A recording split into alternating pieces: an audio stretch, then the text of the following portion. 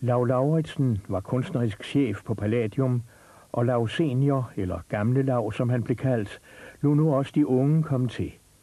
Alice Frederiks og unge Lav skrev manuskripter, og i Schønberg blev meget hurtigt hele Danmarks Ibermand. Det begyndte med filmen Københavnere i 1933. En Lav seniorfilm. Og jeg får en billet. Tak, det er en krone. Hvor meget siger du? En krone. Er det rigtig klogt? Brug din forstand, mand. Tror du ikke, jeg er en skole? Jeg sagde én billet. Ja, én billet koster en krone. Det er vel det frækkeste, jeg nogensinde er udsat for. Tænk ham, hvor lang en krone for, man skal se hans skaldede dyr.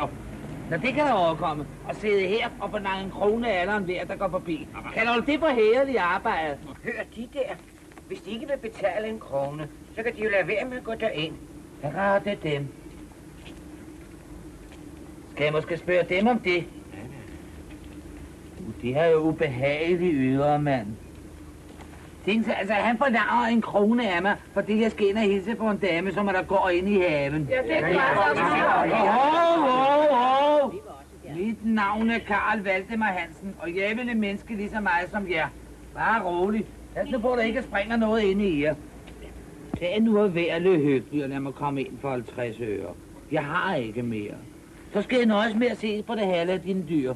Må jeg ikke betale de 50 øre, for at vi kan få en ende på det? Ja, der har vi det. Der har vi det. Der kommer sådan en overklasse her og siger, må jeg ikke betale.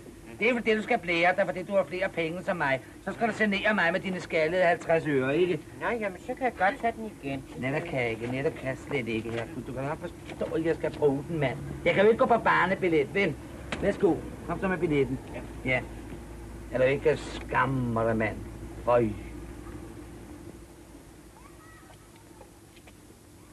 Unge Københavnere 1933. Blandt selskabet Alex Sur, Arthur Jensen, Per Gunman, Paul Reichardt og Asbjørn Andersen. Læser ikke eventyr, han er mere med på Hisser, husser, rejser, rejser. Tidens tempo kræver sport, og hyler jazzakort, og så noget af det stykke gaven vil her godt. Hisser, husser, rejser, Musikken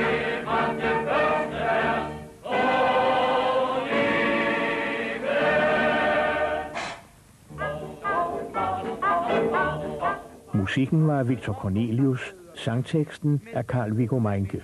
Vi vil hellere danse Der er meget mere hæft i en postradel og step saxofonen.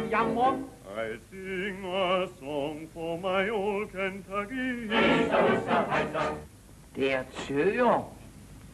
Nå, så er der altså også storkapitalist. Ja vel, nå. Så kommer du for at hente din 50 øre igen, ikke? Mm, okay, nej, okay, nej. Pyt med dem.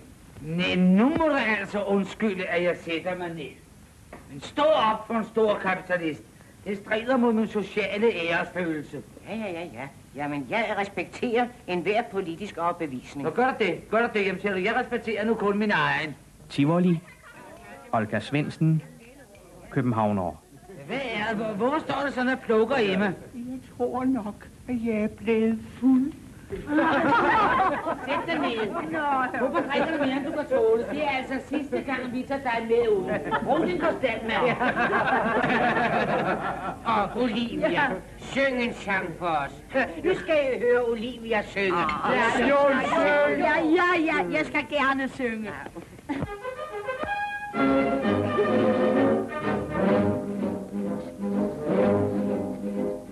Solen skinner festligt ind på tårn og tag og spiger. Byen vågner op, og tusind singler snor.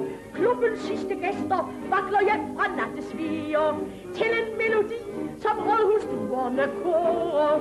Knallen smelter fra hver maste top. Klokken slår, og garden trækker op. København, København. Der er klang og fest og glæde i dit navn. Se de slanke tårne hæver sig mod sky. Som en hilsen viden om fra kongens by.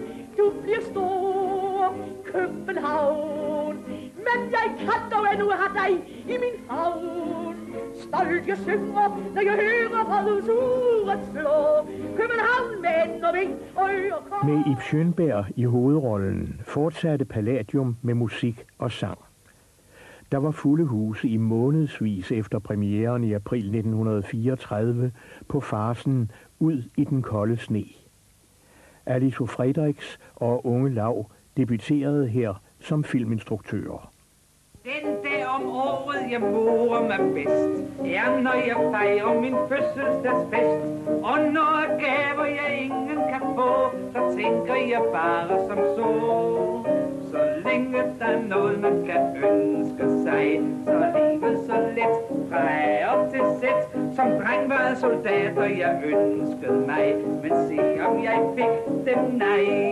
Min fæstning blev bare et luftkastel til en bakkartel, så et futtog farvel. Men så længe der er noget, man kan ønske sig, er der håb endnu for mig. Nu er jeg vokset mig fyldig og køn. Nu er de ønsker, jeg nærer i løn. I fødselsdagsselskabet ser man blandt andre Hans V. Petersen, Gert Gedved og Ellen Jansø. Er noget, man kan ønske sig, så er livet så let fra op til sæt. Jeg ønsker, at jeg skal stå brudgom i mig, men hvad, hvis hun nu siger nej? Jeg ønsker en pige, så sker Musikken var Victor Cornelius, sangteksterne af Karl Viggo Meinke. Men så længe der er noget, man kan ønske sig, er der håb endnu for mig, tror jeg. Så længe der er noget, man kan ønske sig, er der håb endnu for mig, tror jeg.